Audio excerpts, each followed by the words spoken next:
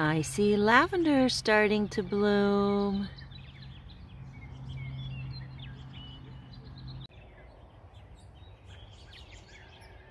Nothing quite like getting outside in nature first thing in the morning.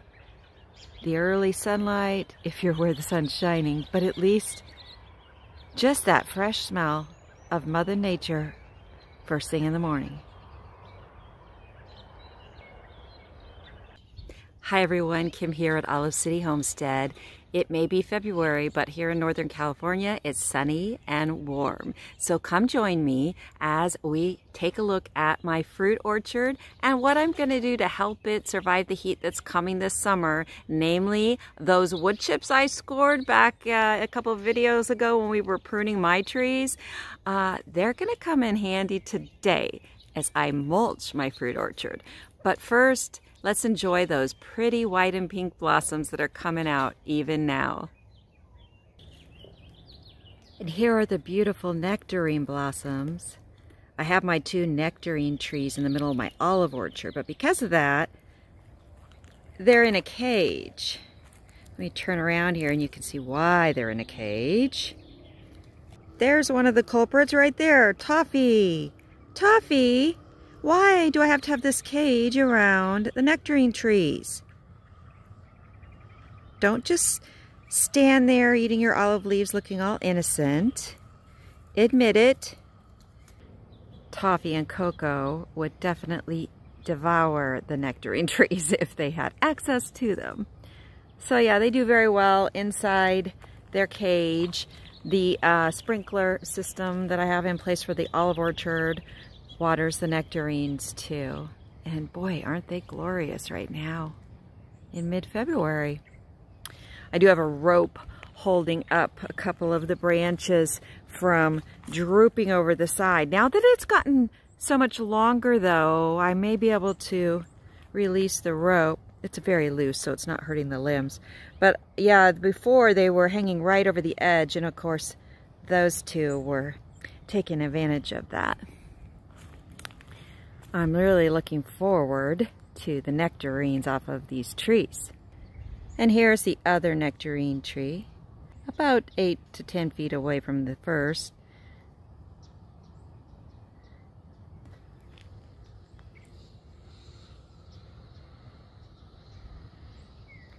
A paler pink blossom, but just as pretty. You look so innocent. But we know what you and Coco would do to these trees if you had the chance. The only reason olive trees survive is because they're so massive. The little bit of bark that the sheep eat doesn't hurt them. You know, on days like this, all I want to do is be outside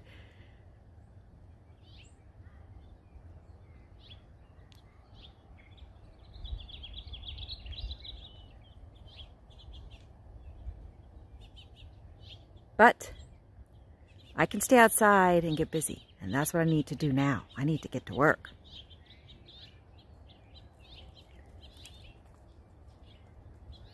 Lots to do here. Right, guys? Lots to do. I see some mowing that needs doing too, right behind you. Well, always something. That's good. The trees are starting to blossom. First up are the plums and pluots with all those pretty white blossoms you see. This is a Santa Rosa plum. Here's one of my pluots. Another more bush-like pluot. Pluots are probably my favorite fruit. I don't know. I say that about a lot of fruits. Depends what I'm eating. Here's one that's already leafing out. And over here is a pluerry, or pluerry, combination of a plum and a cherry. Even my peach trees are just starting to open their pretty pink blossoms. They'll come into full bloom in another week or two. Really depends on the weather. All I can hope is that this really warm weather we've been getting in the 70s and even 80s Fahrenheit is not going to suddenly reverse itself. I mean, I know it will somewhat, but hopefully not too badly.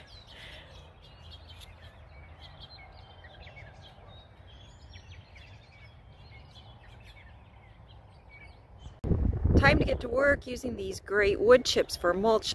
I love my sunny yellow wheelbarrow. It has two wheels at front, keeps it very steady. That one wheel in the center kind of wheelbarrow always tips over on me, so yeah, these are great wood chips because they have chipped up the whole tree, so there's a lot of leaf matter in there too, and it's quite a variety of trees, so a lot of different nutrients for the soil in my fruit orchard. And while other people mulch their trees perhaps for protection from the cold, um, I'm actually using it for protection from the heat. And uh, the main reason most people use mulch to retain the water moisture around the plant, or in this case, the fruit trees. It's just an added benefit that this is live material. It is full of all kinds of live organisms that are going to build the soil. So in addition to a good sturdy wheelbarrow, a nice heavy duty pitchfork is essential for moving wood chips, in my opinion. I've tried it with shovels of various kinds and with forks of various kinds. And my favorite is this 10 tine pitchfork. It works great. Um, it's lightweight um, compared to a shovel. And it just really does the job well. So yeah, I highly recommend a pitchfork for moving wood chips. So look, I've only taken a few pitchforks full. And I'm not sure if you can see it in this bright, bright sunlight we have today. But underneath where I took those wood chips, it's already beginning to decompose a lot of moisture in there. I've even spotted a worm or two already. So wood chips decompose back to earth very quickly, but the kind of soil they build is the richest kind you can get. Of course, that shouldn't be surprising because Mother Nature does know best, doesn't she? So here is one of my trees. It has a circle around it defined by rocks and now filling it in is about a good six inches worth of wood chips. Notice I have hardware cloth encircling the trunk. That's for two reasons. One, it's protecting the trunk from rodents nibbling on it, munching away and damaging the tree. And also gives the base of the trunk where the graft and then the roots are at the surface of the soil some space because we don't want to put a ton of mulch right there on top of those roots and the base of the trunk because it could encourage root rot. These wood chips are going to make this pear tree so happy. And here's one of my apple trees and look, it too is happy with a ton of wood chip mulch in it now. Notice it has a wooden raised square around it. That's because these trees down here, my six apple trees, they uh, are in the lower section of my property. My property slopes from west to east. And so some of these trees here, I noticed the very first winter, um, if I had a really wet winter, which I did that first winter, they kind of got uh, a lot of water around them just sitting for days. I didn't like that idea. So what I actually did that first winter was dig up those trees that had that problem and put them sort of on a mound and also added these boxes around them so I could put some extra soil and mulch around them and it wouldn't, you know, just erode away. And that has worked great. All of the four trees I believe I moved, yeah, there's four boxes down here. They all uh, did fine. That was four years ago, and they all fruited wonderfully last year. I did get all semi-dwarf trees. I think I have one or two actual dwarf ones. And that's why my trees are shorter, by the way. Which I love because it makes the fruit so much more accessible. And now these wood chips are going to do their job this summer when I have 110 to 115 degree Fahrenheit heat of helping the soil to maintain its moisture levels. The roots won't dry out with this thick blanket of wood chips. My Liberty apple tree, probably my most productive last year, is going to be super happy with this mulch as it breaks down and really enriches the soil. All those nutrients are going to help it continue to be very productive. My black Arkansas apple, also happy with mulch.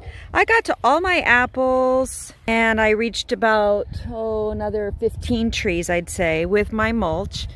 And look, I still have a ton of wood chips over there for the rest of my fruit trees. So very happy with my progress so far. Only took me uh, one day to do all those trees, which was about 22, 23 trees. So it's going to take me another couple of days to do the rest of my fruit trees and nut trees, but it's actually very enjoyable and when you do something that has such clear results so quickly and then you know it's going to have great results in the future, well, hey, that's a good thing.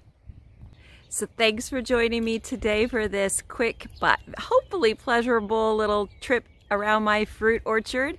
And I encourage you, if you have any chance whatsoever, score you some wood chips because they make the best soil after they've broken down in a wonderful mulch for your trees and your other plants too. Even a flower garden benefits from a mulch of wood chips.